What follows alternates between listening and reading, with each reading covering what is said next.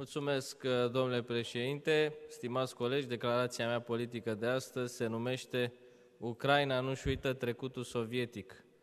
Zilele trecute, ușile Centrului Cultural Eudoxiu Hurmuzaki, Centrul Cultural Românesc din Cernăuți, au fost sparte de către securitatea ucraineană.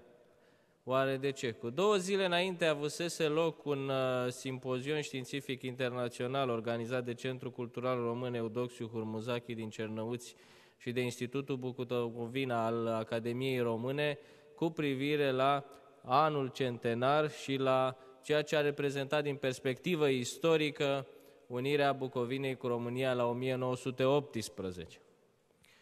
Iată însă că statul vecin vine cu o serie de măsuri care sunt total uh, absurde și halucinante din perspectiva unei relații amicale, unei relații, așa zis, parteneriale între România și Ucraina. Nici mai mult, nici mai puțin, au fost uh, reprezentanții români de acolo acuzați că prin acțiunile lor instigă la separatist teritorial și la încălcarea integrității Ucrainei. Ba chiar în urma acestei descinderi au fost confiscate niște hărți, niște hărți istorice cu o grafică foarte frumoasă și care nu au nici cel mai mic element nici măcar naționalist, ca să spun așa, sunt niște hărți comemorative. Am și eu două hărți de acest tip la biroul meu parlamentar din Otopeni și doresc să fac un anunț. Aștept securitatea ucraineană să vină și la mine la birou, să-mi spargă și mie ușa și să-mi confiște aceste hărți. Abuzurile au continuat.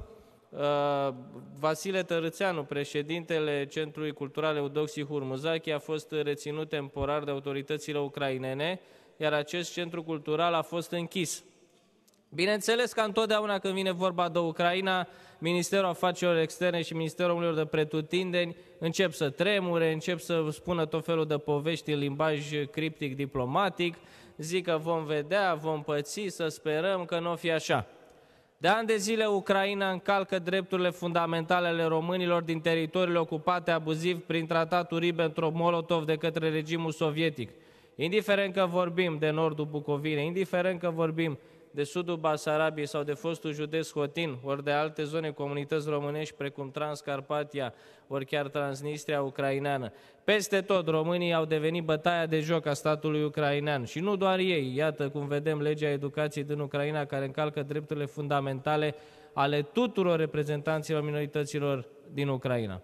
Eu aș propune așa câteva măsuri în primul rând, România, care a și asigurat securitatea cibernetică a Ucrainei, care a semnat un tratat al Ucrainei foarte binevoitor pentru statul vecin în 1997, ar trebui să renunțe la orice formă de susținere a parcursului european a acestui stat până când aceste măsuri de represiune la adresa comunității românești nu sunt oprite. România nu are nicio obligație să susțină Ucraina pe drumul integrării europene atât timp cât Ucraina nu învață să trăiască civilizat și se comportă într-un tip sovietic, într-un model brutal, specific Asiei și nu Europei.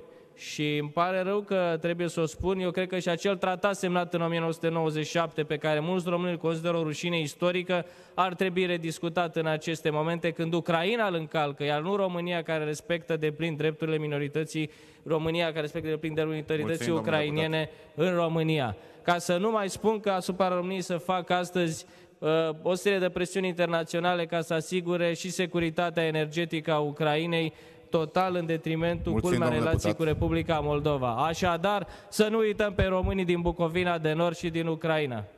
Mulțumesc și eu, domnul președinte.